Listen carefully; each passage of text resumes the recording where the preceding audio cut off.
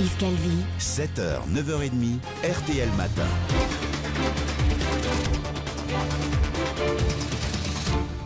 Bonjour Thibaut de Dreux. Bonjour. Vous êtes délégué général de l'Association française du sans contact mobile. Merci d'être avec nous et en direct sur RTL. L'iPhone 6 sort aujourd'hui, je le rappelle. Si j'écoute euh, les spécialistes de téléphonie mobile, une petite révolution est en train de se produire avec l'arrivée du paiement via son téléphone portable. Euh, Thibaut de Dreux, le plus simplement possible, qu'est-ce que c'est et comment ça marche?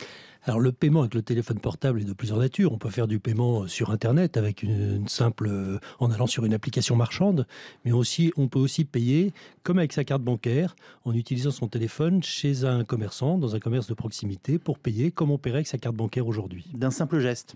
D'un simple geste effectivement, au lieu d'insérer votre carte plastique dans une machine, dans un terminal de paiement chez le commerçant, vous posez votre téléphone en dessous de 20 euros, on ne vous demandera pas de confirmer par code. Par contre, au-dessus de 20 euros, pour des raisons de sécurité, on vous demandera de confirmer par un code confidentiel. Ça veut dire que chez mon boulanger, on en a acheté ma presse.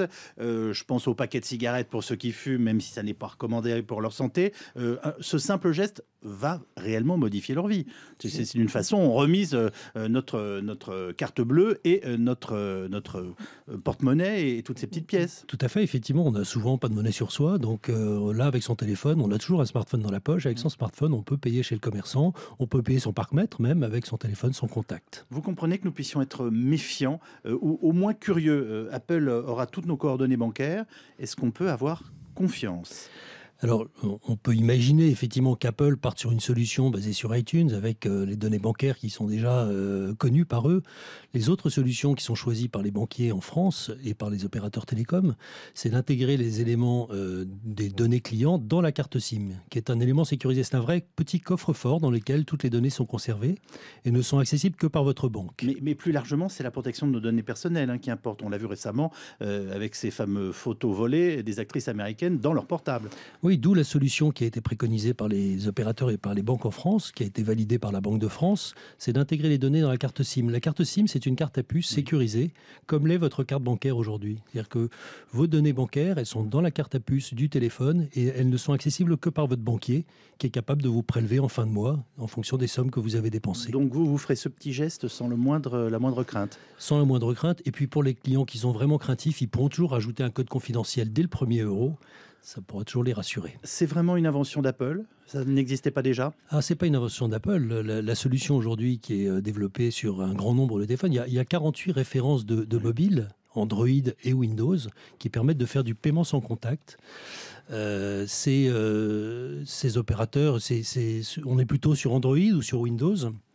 Euh, et donc, on est très content qu'Apple rejoigne l'écosystème, mais aujourd'hui, ça fonctionne déjà, ça marche déjà. Vous pouvez aller voir votre banquier, sous réserve qu'il propose une offre de paiement mobile, il saura vous faire bénéficier d'une offre de paiement mobile. Euh, combien d'utilisateurs sans contact mobile aujourd'hui en France?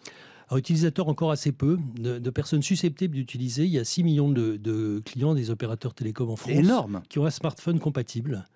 Mais en termes d'utilisateurs, on est encore euh, sur un nombre très limité. Il existe des équipements, des terminaux de paiement sans contact euh, chez la plupart des, commerçants Parce que ça va être ça maintenant l'enjeu? Alors, vous avez euh, vu euh, probablement que les banques déploient déjà des cartes sans contact. Elles sont aussi en train de déployer chez les commerçants des terminaux de paiement sans contact. Alors, c'est le même terminal hein, que celui qui est aujourd'hui chez le commerçant, sauf qu'il a une version logicielle plus récente. Il y a 16% des commerçants qui sont équipés aujourd'hui de ces terminaux de paiement. On devrait être autour de 30% à la fin de l'année. Donc on commence à avoir un équipement relativement massif des commerçants. Je reviens sur un point important parce que souvent chez les commerçants et dans les restaurants, on ne peut pas payer par carte bleue sous un certain seuil, hein, vous le savez, euh, pour des questions de taxes notamment. Avec ce paiement sans contact, est-ce que tout va changer? Est-ce qu'il n'y aura pas de manque à gagner pour les commerçants? Alors, le, succès, il est là, entre autres. Hein. Je ne voudrais pas parler au nom des banques, mais, je crois qu'elles sont conscientes de ce sujet et certaines banques ont déjà revu à la baisse leur, euh, leur commission. Il y a eu notamment une nouvelle réglementation européenne qui a permis de faire baisser les taux d'interchange, donc les taux interbancaires, ce qui euh, permet aux banques de faire bénéficier leurs commerçants de tarifs plus intéressants dès aujourd'hui. Euh, on J'incite d'ailleurs les commerçants à aller voir leur banque pour leur demander d'appliquer ces nouvelles conditions. Ah, j'ai bien compris. Euh, on va donc pouvoir faire des achats avec son portable en main avant, et donc en une fraction de seconde. On se dit que c'est peut-être un changement de civilisation.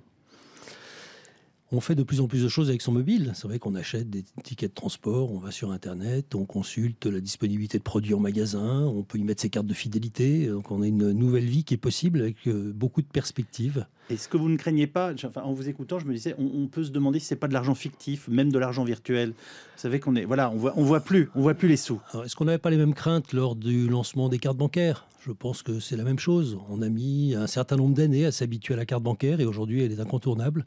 Ça sera la même chose avec le téléphone mobile. On, est bien d'accord, euh, le montant ne pourra pas être illimité. Hein alors le montant en paiement par téléphone mobile, euh, aujourd'hui tel que l'ont défini les banques, est limité à 300 euros. Mmh. Et euh, avec ça, ça apporte une certaine garantie au client. Au client, et euh, en dessous de 20 euros, vous nous confirmez que là, on n'aura pas besoin de remettre un code confidentiel. Tout à fait, sauf si vous avez fait plus de 60 euros d'achat dans la journée, et auquel cas, le téléphone va vous demander un code systématique. C'est sans doute une révolution, on va en tout cas observer ça. Merci beaucoup Thibaut de Dreuil. Je rappelle que vous êtes délégué général de l'Association française du sans contact mobile. Bonne journée à vous. Merci.